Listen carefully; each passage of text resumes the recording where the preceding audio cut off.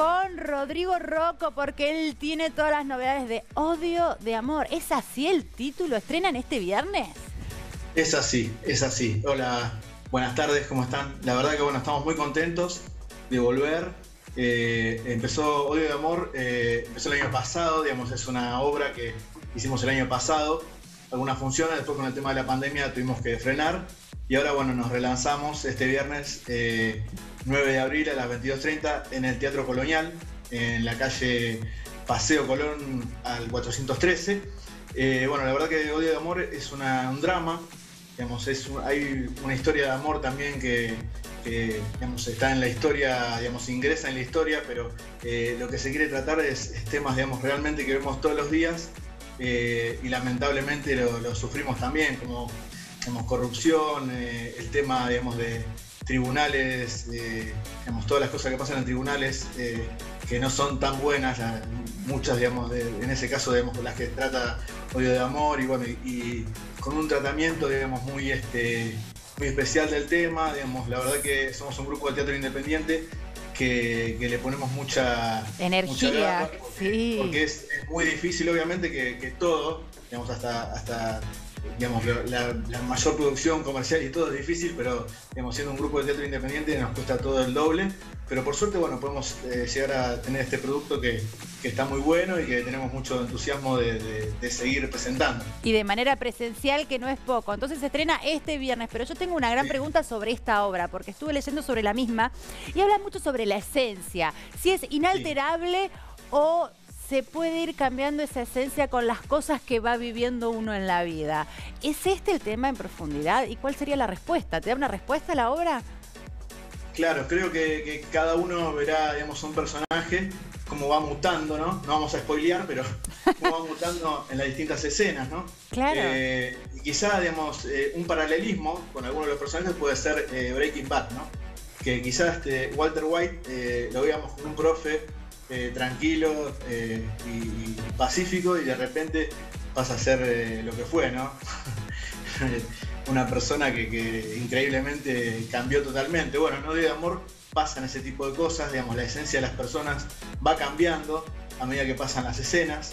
realmente a veces la, gente se ha ido del teatro odiando, digamos, siendo redundante, odiando a los personajes porque realmente se engancha con la historia y la historia es bastante dura. Más allá de que está envuelta en una historia de amor, también está envuelto un montón de temas que, se tratan en, tribunales. Sí, de la vida real, ¿no? que sucede en la vida misma.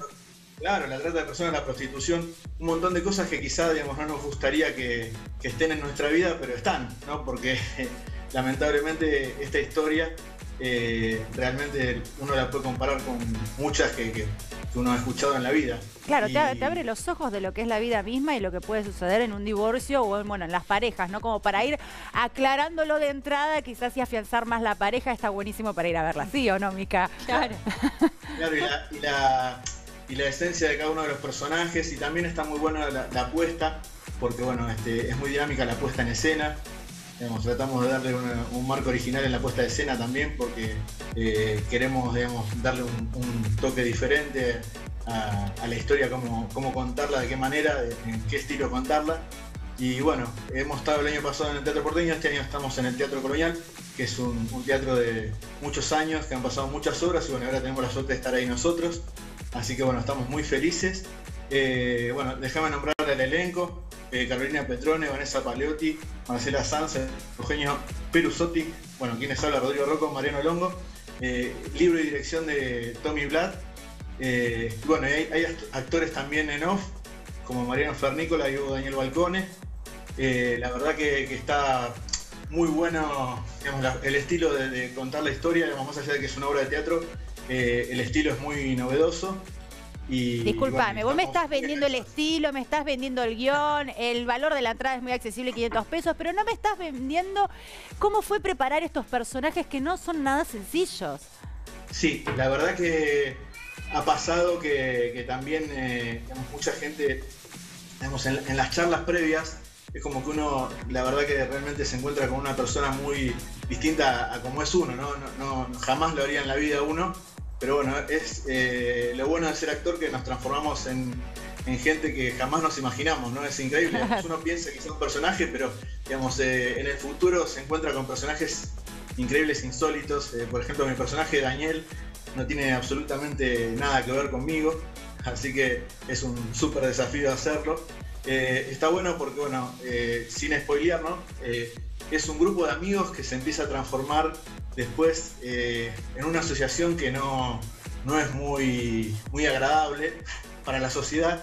Quizá ellos eh, están envueltos en eso y se encuentran beneficiados con un montón de cosas, pero la sociedad los juzga y, bueno, y la justicia los cubre un, poco también, así que es como que es algo que eh, vemos todos los días en las noticias y acá bueno se puede ver también en de Amor desde ese costado y que obviamente que nosotros eh, no, no, queremos ver eso, solamente estamos contando una historia y, para, para Abrir los ojos.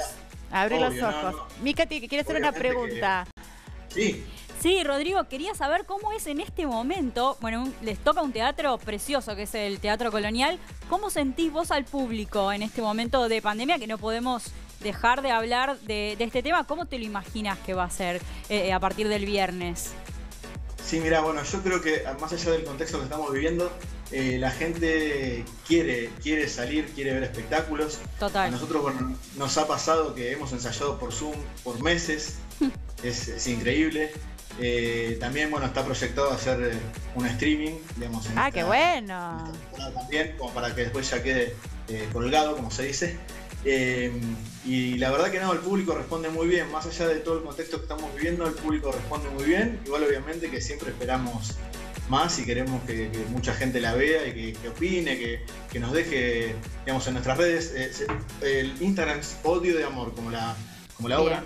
Arroba odio de amor. Bueno, avisanos cuando hagan esta transmisión vía streaming también, así lo estamos informando. Aquí en el programa, pues nos encanta. Por lo pronto, recordemos a la gente, Odio de Amor, ¿cuándo la pueden ver? ¿Este viernes? Sí, la pueden ver este viernes a las 22.30 en el Teatro Colonial, Paseo Colón 413.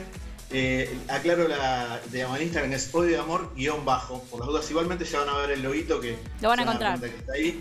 Eh, bueno, eh, la verdad que, estamos muy contentos. Bueno, como te digo, el elenco, digamos, y es una obra escrita y dirigida por, nuestro director, es, este, algo muy lindo, digamos, que, él está teniendo una etapa creativa muy buena y, y también está proyectando en otras obras que están muy buenas. Bueno, te vuelvo a repetir el elenco. Eh, Carolina Petrone, Vanessa Palotti, Marcela Sanz, Eugenio Perisotti, Mariano Longo, quien te habla, Rodrigo Rocco. Rodrigo, un placer, muchísimas gracias por esta comunicación y estamos en contacto, avisanos cuando se pueda disfrutar también vía streaming, por lo pronto en el Teatro Colonial a no perdérselo este viernes. Gracias, fuerte abrazo. Bueno, les agradezco mucho, un beso grande para todos. Por favor.